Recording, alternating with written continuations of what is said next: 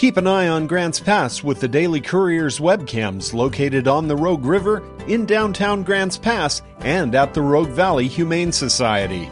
See what's going on today at thedailycourier.com. Gordon Casimire Williamsii is getting ready to move into his dream home. He's putting the finishing touches on a replica of a Vardo, frequently called a gypsy wagon. Well, my grandfather um,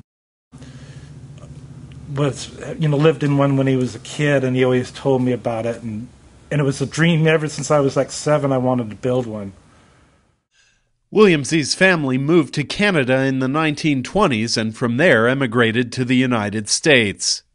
I was in Europe in 2009 at uh, the Serre Calais Festival. Okay. In the south of France and uh, it's all the Romany people in Europe gather there every at the end of May. Williamsii was forced to seek alternative lodging when his hotel room was given away. All the regular locals were saying, "Don't sleep on the beach because the gypsies will kill you," and all the Romany people were saying, "Oh, be careful! Don't sleep on the beach because all the gajo will." Will hurt you.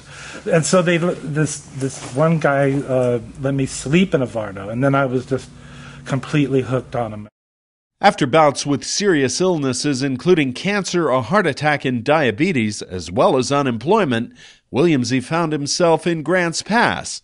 And it's here he started building his Vardo on a sturdy trailer frame that he can pull with his truck.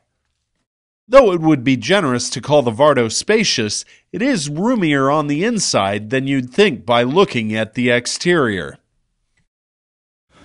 You know, in Japan, this would be more like a pretty big apartment, really.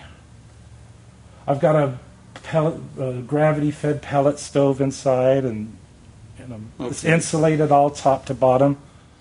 Now the problem is finding a place to park it. Problem is, is is uh, I can't stay at RV parks because they don't allow custom built trailers. Oh. An online posting and a Daily Courier classified ad have provided some leads. If those don't pan out, Williamsii said he was contacted by a property owner in Molalla, southeast of Portland, and has a good deal waiting for him there. You can read more about Gordon Casimire Williamsii and his Vardo in the March 5th print and online editions of the Daily Courier.